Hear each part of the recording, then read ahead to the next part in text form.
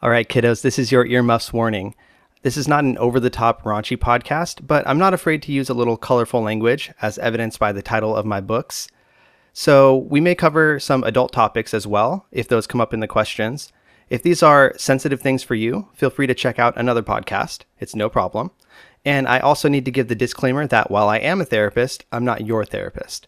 Please do not use this podcast as a substitute for getting professional help. And also, please don't try to sue me. Thanks. All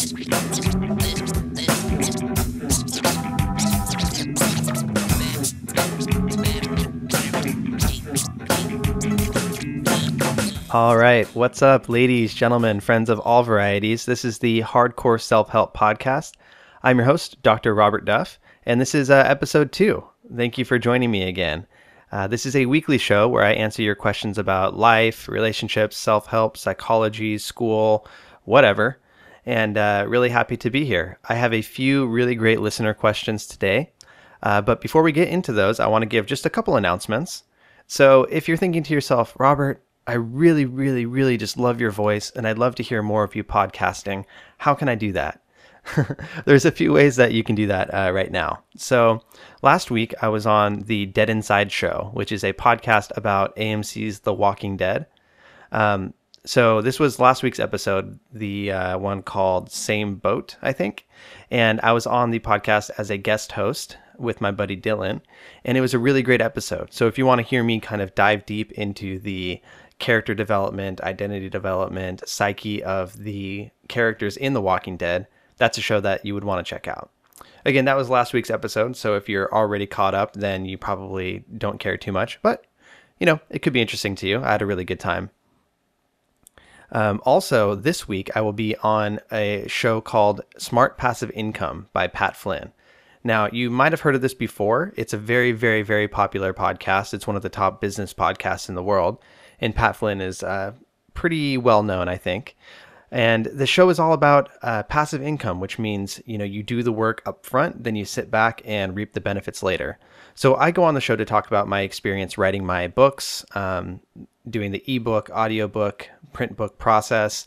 And I talk about, you know, tips that I have and how the passive income from those things has really helped me uh, be more selective and focused in my clinical work. So it's really cool. If it's something that interests you, uh, definitely check it out. Uh, again, that's a Smart Passive Income podcast, and I'll be on there this week. And then, of course, there's a Dead Inside show. And um, I'm also working on the audiobook right now for my second book, Hardcore Self Help Fuck Depression. Uh, about four four chapters in, I think, out of ten. So you know, it's an ongoing process. I'm getting bit by bit done. The chapters are about 30 minutes long when read out loud. So I have to have some time that I could set aside and do that without my kid crying and stuff like that. So it'll be a little bit before that's released, but I'm trying to knock it out as best I can. Um, as always, the first book, um, Fuck Anxiety, is available on Audible, and I encourage you to check that out if you like me talking to you directly into your ear holes. I think that the books are best, you know, heard instead of written because I wrote them in my voice. So I heard myself speaking it out loud as I wrote it. So the audiobook really gives me a chance to translate that into the way that I would expect it to be heard. So, anyways, all of that is uh, all those are my announcements, and uh, let's get into some of the questions. Okay, so question one is an email question. If you guys have questions for me that you'd like me to answer, please, please tweet them at me at Duff the Psych on Twitter, or you can send them to me via email if they're longer than that, or you want to stay anonymous for any reason. Uh, my email address is duffthepsych at gmail.com. So this is an email question and the person did not indicate whether I could share their name or not, so I'll keep them anonymous. But it was a female, I'll share that. And she writes, Hey, so my dad was an angry man to say the least. Sometimes I notice I have his short temper and turn to punching things like walls, doors, pillows, etc. out of rage. He did this constantly when I was a child, multiple holes in the doors and walls. How can I steer away from a hot temper? So it's a it's a really good question and actually a very um, relevant question because I have um, some people in therapy right now that I'm seeing for similar issues that are dealing with explosive anger. Um, one thing that I I definitely want to point out is that it you're not going crazy. It does follow in families, whether that's you know nature or nurture. it just tends to show that people who have anger problems typically have a parent who also had anger problems. I don't see it as often in females, um, just by my own observation, but certainly in males, I've seen it quite a bit in my practice where, um, you know, somebody comes in, usually a younger male, has problems with anger, just like you described, that kind of explosive anger, yelling, punching things, and they're almost an exact copy of what their father was like. So I, I definitely feel you there. Um, you're not going crazy. It definitely does kind of trickle down in the family. Um, but there's a lot that you can do about it. Um, it's not anywhere close to a hopeless sort of condition. And it's not just the way that you are, the way that you're going to be forever. Now, it's important to think of anger as um, kind of reaching a threshold. So, the way I see anger is, and especially, you know, explosive anger where you act out, do something stupid, punch something, say something that you regret, that sort of thing. Explosive anger is a failure to address it early enough, right? So if you think of a a meter like a thermometer and you know when you get up towards the if you think of the old school thermometers like the mercury ones where the level rises and rises and rises as it gets hotter and then up towards the top it's like red saying like warning once you get past up 100 degrees you know you're in the fever territory so you know you don't want the meter to get that high so I want you to kind of think of anger that way. And everybody has a certain threshold, right? A certain level that they can get up to before they reach that breaking point, that point where they do something stupid, where they hurt someone, etc. And everybody has a different threshold. Sometimes people have very, very high thresholds, and it takes a lot to get to get them to that point. They're very chill, very calm. Some people have a very low threshold where, you know, if somebody gets their order wrong at Starbucks and they're about ready to snap. So it's important to think about where your threshold is, um, just to kind of be aware. Is yours very low? Is it very high? And then kind of take that into account with what's going on in your life. Even if you have a pretty high threshold, if you have an overabundance of things that are annoying, that are difficult, that are stressful in your life, you're already going to be pushing up against that threshold. So it only takes another inch or two to get you over that hump and into the territory of exploding. Um, but like I said, I think of explosive anger as more of a failure to address it earlier on. And so the task for you, I think, is to start paying attention to it, start being aware of your patterns and catching them before it gets to that point. One really good way to do that is to start journaling, so to write things down. And you can do this on paper, you can do this in audio format, you can do this with bullet points on your phone, whatever way that you would like but to notice the things that lead up to angry outbursts for you. Because they're not all created equal. It's not all the same thing, and it's important to pay attention to what yours looks like.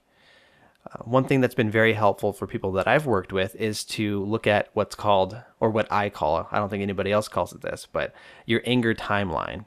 So, what happens in you when you're becoming angry? oftentimes you're looking at physical things, right? What happens first in your body? Where do you notice it in your body first when you're getting angry? And the way to do this is pretty easy. I think that most of the people who are very, very much struggling with anger in their life can put themselves in that mental space and sort of start to feel what it feels like without actually being in the situation. So if you imagine a situation that really pissed you off recently, something that made you go over the top and punch a wall or something like that. Um, what you can do is you can think about that, really put yourself in that mental space, and then start to notice the first changes that are happening in your body. So for some people, they notice, you know, their muscles. They notice that their hands are clenched. They notice that they're posturing differently. They notice that um, there's some muscular changes going on in their body. For other people, they notice their faces get flushed or their head feels hot. Uh, maybe they're breathing more heavily. Maybe they're not breathing at all. Maybe they're tensing up and holding their breath.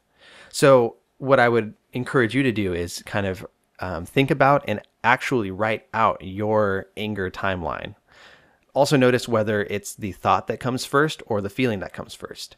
When you're feeling tense, when you're feeling like you're posturing for anger, when all those things that I described are happening, are you already thinking about the fact that you're angry? Or does all that happen before the thought even crosses your mind? And then by the time you actually notice that you're angry in your mind, it's too late. So I want you to think about those sorts of things. Like I said, actually write it down on paper or, you know, type it out, whatever you want, so that you can kind of externalize it, which is really helpful in moving forward from that. once you do that, you can kind of start to acknowledge and notice the process playing out before it gets to that point, right? So instead of um, realizing it once it's too late, once you're already pissed as hell and you're about to punch somebody in the face or break your wall or throw your cat or whatever, um, you can notice, oh, my hands are clenched right now. I guess that means I'm probably starting to get angry. So you can do some things to try to counteract that. You can make the preparations and things like that before it gets past that threshold. And coping skills will be different for everybody. Um, some things that that tend to help are, um, you know, deep breathing. So if you are practiced in deep breathing, you can certainly use that as a coping skill. Um, something like getting out of the situation, right? So if it's happening when you're in an argument with somebody else, like a significant other or family member, noticing that you're angry, kind of making a statement that I'm starting to get to my threshold and I need to remove myself from the situation. We can do this later and actually going outside, getting some fresh air. I had one patient of mine who the answer for him was just opening the door, right? So opening the front door because he would yell uh, very angrily at his wife and get very aggressive when he was angry. Um, other than that, he was a very calm guy. But if there was anybody around, he would never act like that. So when he would notice himself starting to get angry, he just opened the front door so that his connection to the outside world was present and that would kind of kick him into gear of going, "Oh, I can't act like this." So, you know, whatever your coping skills are, whether it's physiological, calming yourself down with breathing, or something more um, social, like removing yourself from the situation, bringing someone else into the fold, whatever the case may be, you're going to be able to use those a lot better if you learn the signs of your buildup before you get there. Another thing that you can do is to um, write down the situations and your thoughts that tend to lead to anger. This is a CBT approach, so cognitive behavioral therapy, and I talk about these in my books. How to do a thought log, which is basically where you write down the event that happened, you write down what your emotional consequence was, so what happened. In in your case, it's going to be blew up, got angry, you know, acted out in XYZ sort of way.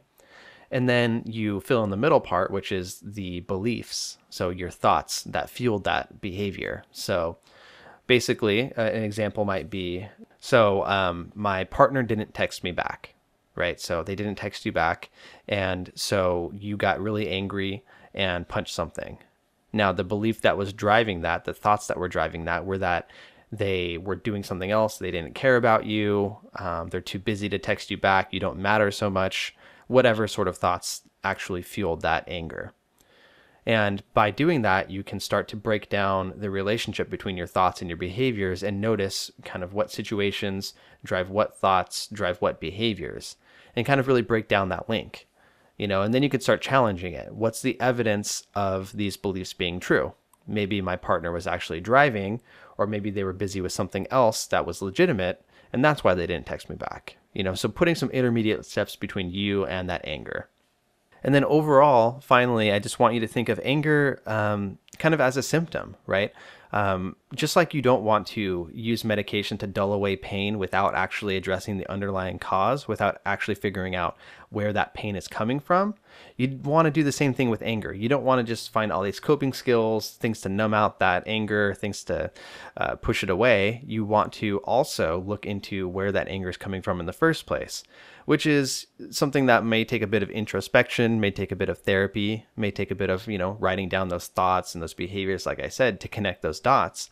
But, you know, anger doesn't just come out of nowhere. So look at those uh, processes that have led up to it, kind of try to get some insight into where it's come from and address those things as well. So it's not as big of a problem for you. Okay, so really great question. I appreciate that one. I think that that's a question a lot of people can probably um, identify with. So really glad I got the chance to answer that one. Okay, so question two is another email one, and this is from Nate. He said I could use his first name. And it's a little bit long, so let me read through it here. I might gloss over some stuff. Um, main issue I don't feel like I've ever learned to cope with death, love, trust, etc. Um, I've lost nearly everyone close to me, including most of my family. With every death or with every instance of being hurt, I feel like I've added a little wall and another layer on top. I'm now at the point that I'm buried in this figurative bunker with a pillow over my head, unable to cope with the smallest of life's details. I quit my job about four months ago because I literally couldn't bring myself to get out of bed anymore. Subsequently, now that I'm without insurance, I can't get the help that I should be seeking for myself. I've been on meds for almost my entire life, trying to get the anxiety and depression under control, but they no longer work, and I know that I need some counseling along with a medication adjustment. I've looked into sliding scale clinics because I have no money and other public services, but they all require Medicaid, which I apparently don't qualify for in my state. So I guess my question is got any other ideas? I almost lost this battle once and I'm genuinely fighting for my life. I feel like I'm running out of options.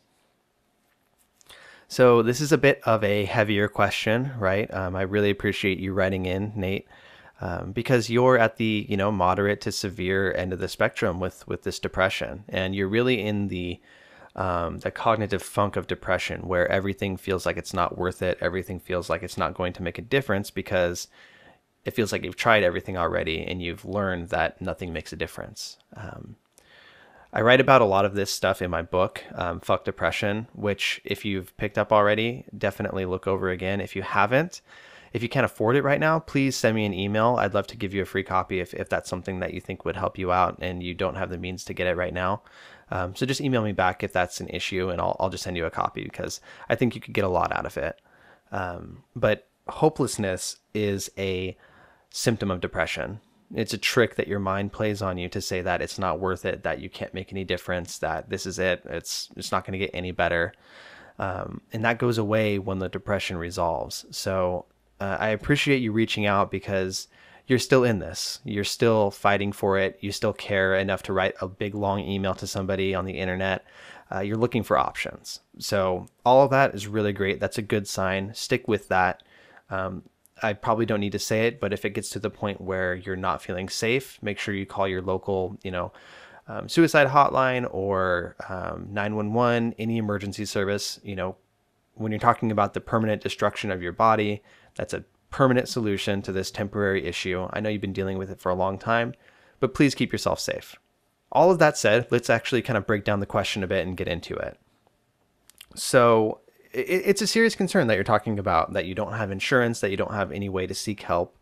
Um, you've done a lot of things right. It looks like you've tried medication before, um, that you've tried other things to get your depression and anxiety under control, but right now you're kind of in a bind.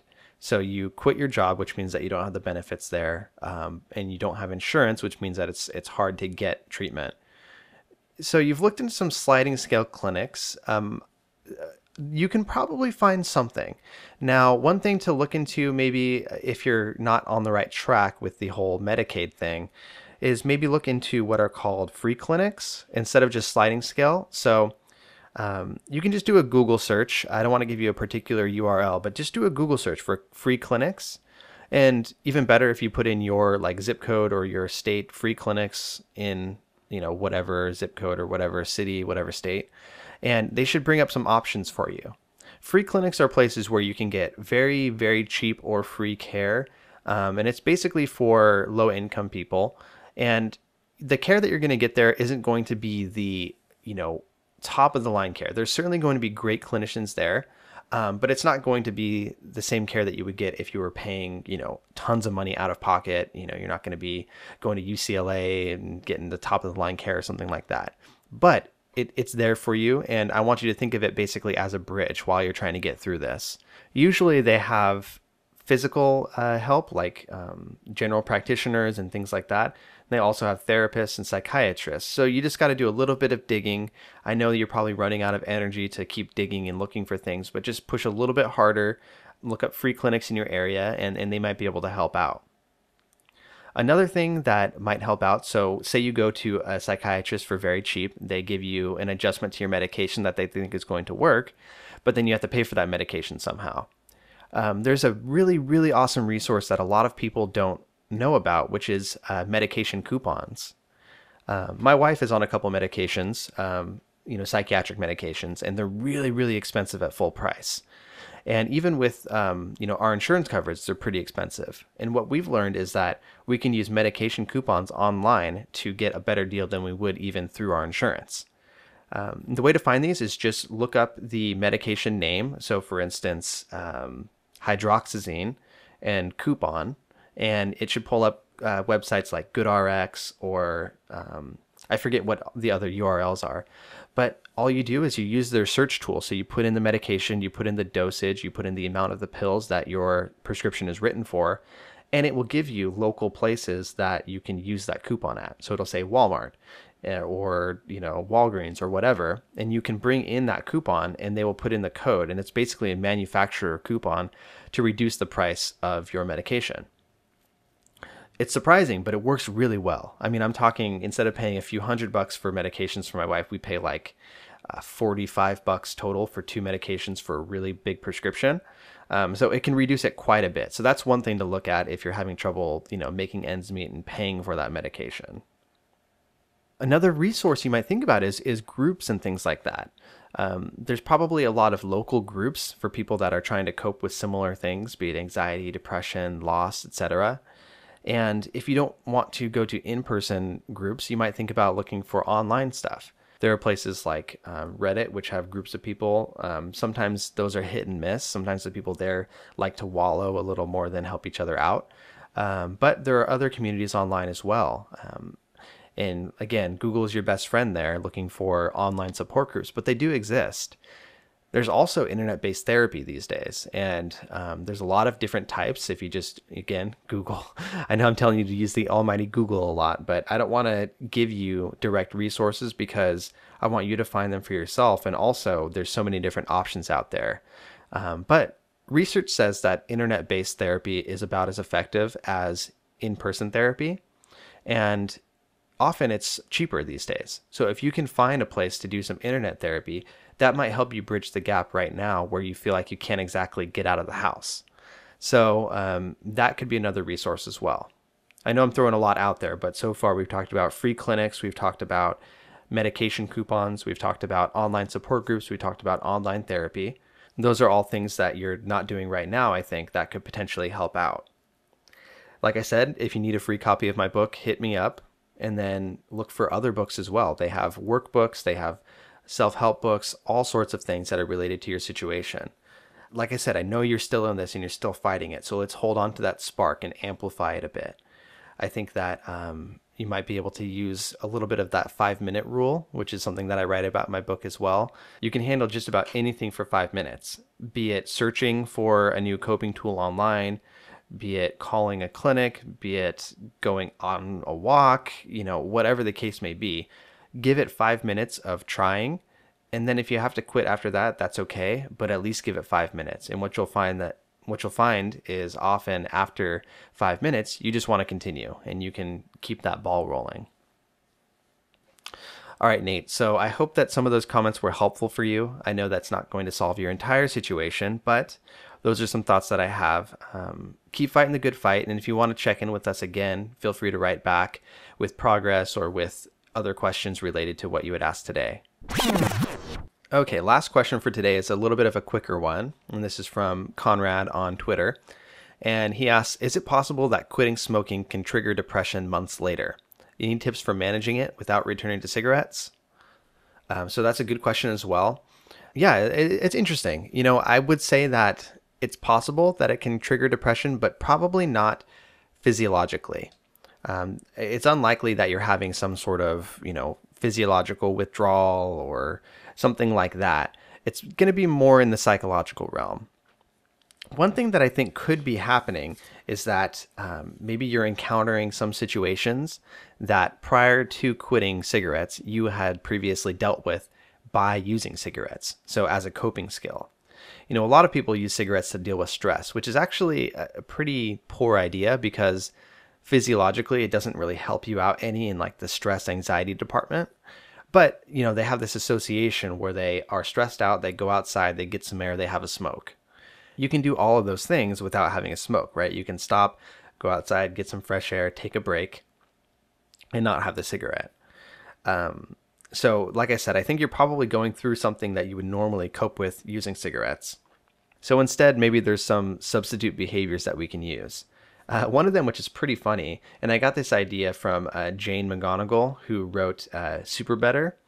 Um, but she makes a suggestion for people um, quitting cigarettes, and it's actually research supported to play Candy Crush or play any sort of puzzle game. So Tetris, Bejeweled, Candy Crush, any sort of match three or visual puzzle game. And the reason for that is that cravings, like cravings for cigarettes or cravings for a drug, are very visual. Oftentimes, when you get a craving, you see yourself going through the process of engaging in that. You see yourself, you know, getting out the pack, pulling out a cigarette, getting that fresh air, you know, lighting it up, all that stuff, taking your first drag. And it's a very visual sort of phenomenon. Um, so, what this does using a puzzle game is it overrides your visual working memory. And what that means is it overrides that part of your brain that temporarily holds visual information because your brain is occupied with that puzzle. You're trying to figure it out. And research shows that even after you're done playing the game, so say you play the game for 10 minutes, your brain is still kind of working out that puzzle.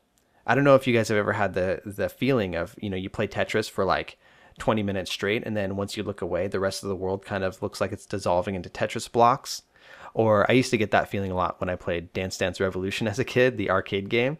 After I play for a long time, I see the arrows everywhere. You know, so these sorts of things, like I said, they override your visual working memory. And that doesn't mean that you're not going to be able to visualize yourself doing that, uh, going through the process, you know, getting out your cigarettes and so on. But it's going to help you reduce the intensity of that craving, hopefully enough to make a different choice. So that's kind of a substitute behavior along the lines of, you know, instead of using a cigarette, if you're feeling orally like you need stimulation, using a lollipop or gum or chewing on a toothpick or whatever the case may be. And those are sort of temporary coping solutions. And just like the answer for the um, anger that we talked about earlier, it's important to look at the underlying cause. So, kind of look at the antecedents, the things that come before this feeling, um, and try to understand what's driving it. So, what's happening that's making you want to have a cigarette? And break down the situations that are sort of leading to depression. And instead of just thinking about the cigarettes, think about how you can address those underlying concerns a bit. And again, a lot of this echoes the thing with the anger, so I won't go into all of that again. But hopefully, that little tip was helpful for you. And uh, really, really good question. Okay, guys, that's about it for the show. I really appreciate you joining me for this uh, second episode. I hope it wasn't uh, too boring for you. I think that there's some really good tidbits in there. Um, if you want me to be covering other sorts of material, please write in with your questions and let me know what I should be covering. Uh, as always, you can tweet me at duffthepsych. You can email me, duffthepsych at gmail.com. Give me your questions. Let me know whether you want me to share your name or whether you want to stay anonymous. Um, I have a guest coming up on a podcast soon, a buddy of mine who wrote some really beautiful things on his blog about depression. And I'm going to be interviewing him about his experiences with depression, overcoming it, sliding back into it, stuff like that. So look forward to that. And I wanted to end today with a quote from my book that I thought was pretty relevant related to the things that we were talking about. Okay, this quote is about um, emotional bankruptcy, which is a method that I talk about in the chapter of my book called On Letting Go. And this is from the Fuck Depression book. Um, and in here, I talk about the technique of declaring emotional bankruptcy, which means kind of cutting your losses and allowing yourself to move forward with your life. Even though you've built up a lot of baggage in the past, you've done a lot of things wrong, things haven't gone your way, and it's hard to let that go. But if you don't let that go, there's no way you're going to move forward. So uh, here's the quote we're trying to move forward, and the fact that we haven't been able to move forward until this point is the very thing keeping us feeling guilty and preventing us from moving forward at all. If this applies to you, I want you to consider declaring emotional bankruptcy. You can't ever deny all of the things that have led you to this point, but it's absolutely certain that you won't be able to improve if they're constantly overwhelming you. I hereby absolve you of your emotional debt. You don't have to find a way to mentally reconcile every single action or inaction. I know you try as if there were some way to think about it long enough to figure out a way to feel less shitty about it. Or you might be the type to just replay scenarios in your head over and over as a sort of self flagellation, because in your mind you deserve exactly what has happened. I call bullshit. The past is not the present. Yes, it has influenced what you're going through, but if you let it stay in the past, it will stop hurting you so badly in the present. All right, guys, thanks again, and I'll see you next week.